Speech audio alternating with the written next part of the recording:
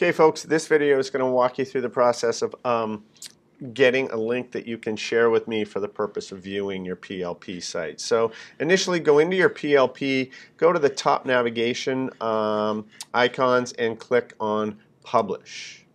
Once you've clicked on Publish, um, select anyone can uh, at bsdvt.org can view my PLP and then hit Publish. Now your site will be published and the last thing that you're going to have to do to submit it to me is to grab a link. So right here I'm going to go to this link icon and I'm going to click on it. And what that's going to do is provide me with the address of my published link. So I'm going to copy it. Now it's on my clipboard. And so from there, I'm going to go back to the email that I sent you earlier. I'm going to click on link to survey. I'm going to complete all of this stuff right here. Okay, everything that's here.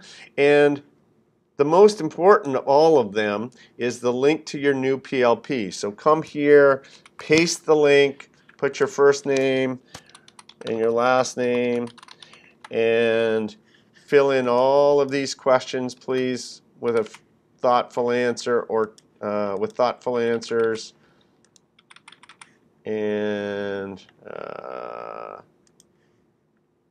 hit submit. Okay, thanks so much for your help. I really appreciate this. As I said, this is not something that's just going to sit in idle hands. I do plan to use your, your data and your thoughts, so uh, please make sure to get that to me so I can provide you with a grade, and just as importantly, so that I can use your feedback. Thank you.